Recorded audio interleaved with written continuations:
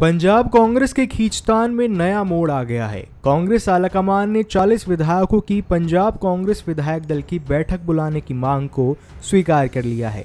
पंजाब कांग्रेस के अध्यक्ष नवजोत सिंह सिद्धू ने ट्वीट कर बताया कि पंजाब कांग्रेस विधायक दल की बैठक आज शाम पाँच बजे होगी।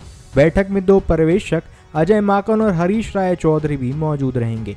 इस बैठक को लेकर चर्चाओं का बाज़ार गर्म है और कैप्टन अमरिंदर सिंह को लेकर भी चर्चाएँ और तेज हो गई है।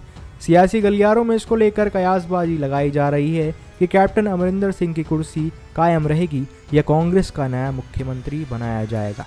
उधर पंजाब कांग्रेस के महासचिव प्रगट सिंह ने कहा है कि पार्टी में कोई अंदरूनी मसले हैं और पार्टी के कुछ मुद्दों पर चर्चा के लिए विधायक दल की बैठक बुलाई गई है। वहीं आपको बता दें कि पंजाब कांग्रेस के अध्यक्ष नवजोत सिंह सिद्धू ने ट्वीट कर यह जानकारी दी है कि अखिल भारतीय कांग्रेस कमेटी के निर्देश पर आज शाम पाँच बजे कांग्रेस के विधायक दल की चंडीगढ़ में बैठक होगी। नवजोत सिंह सिद्धू ने इस संबंध में पंजाब कांग्रेस के प्रभारी हरीश रावत के ट्वीट को भी रीट्वीट किया है। हरीश रावत ने अपने ट्वीट में कहा कि अखिल भारतीय कांग्रेस कमेटी को पंजाब में काफ़ी संख्या में विधायकों का पत्र मिला।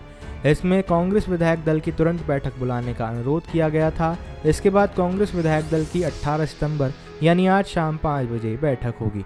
मुख्यमंत्री कैप्टन अमरिंदर सिंह के खिलाफ 40 विधायकों की ओर से पार्टी अध्यक्ष सोनिया गांधी को लिखे पत्र के बाद कांग्रेस के विधायक दल की मीटिंग शनिवार को शाम पाँच बजे बुलाने के बारे में ट्वीट हरीश रावत ने देर रात करीब पौने बारह बजे किया।